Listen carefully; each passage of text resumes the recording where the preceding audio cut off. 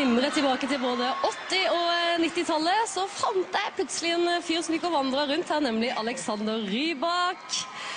Du, Alexander, nå har du vunnet Melodi Grand Prix. Du har fått seks sekser på terningen av VG for den nye plata di, og nå har du også steget opp eh, fra en luke i gulvet til tusenvis av mennesker. Åssen var den følelsen der? Jeg er evig takknemlig for VG. Absolutt. Det er veldig gøy.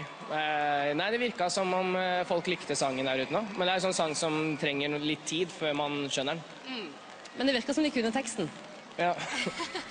Du, du har gått fra å være en helt vanlig gutt fra Nesodden til å plutselig bli hele Norges kjæledegg. kjæledegge.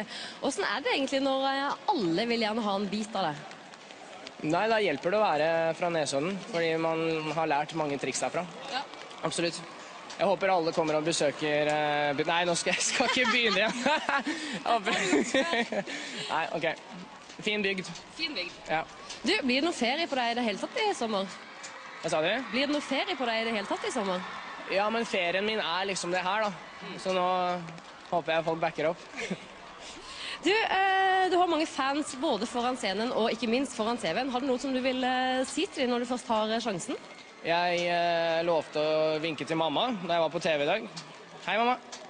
Men så er hun kanskje her, egentlig. så da hjelper det ikke så mye. Ja, men samme det. Du skal på scenen eh, seinere, det gleder vi oss eh, veldig til. Men nå vet jeg at det er en annen Alex som har noen store planer der oppe.